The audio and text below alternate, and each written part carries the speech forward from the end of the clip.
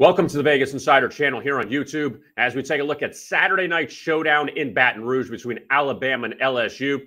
Kevin Rogers with you. The Crimson Tide at 7 and 1, the Tigers at 6 and 2, and Alabama looking to capitalize off their win 2 weeks ago against Mississippi State and the Crimson Tide nearly a two touchdown favorite on the road here.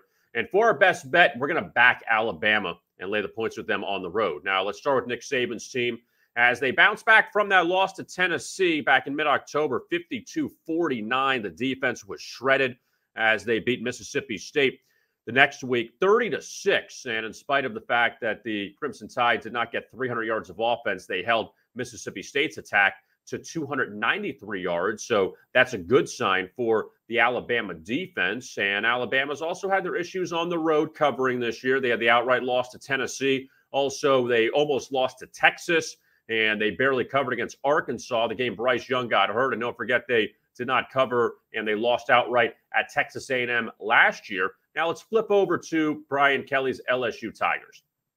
They began the season with a loss to Florida State, but they have rebounded though with six wins in the last seven games. The only loss, a 27 point home defeat to Tennessee, but the last two weeks, 45 against Florida, 45 against Ole Miss winning both those games as short underdogs. Last year, when these teams met up in Tuscaloosa late in the season, Alabama snuck by the Tigers as very heavy favorites, laying nearly 30 points. Alabama won 20 to 14.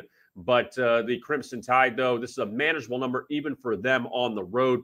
Jayden Daniels has played well for LSU. You see the offensive numbers for the Tigers, but I think Alabama, they need a big road win here and I'm going to back them laying the points against LSU coming up on Saturday night as our best bet.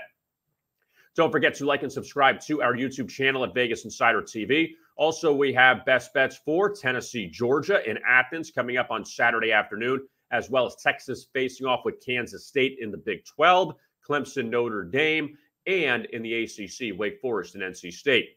I am Kevin Rogers. Thanks a lot for watching. And as always, best of luck with your bets.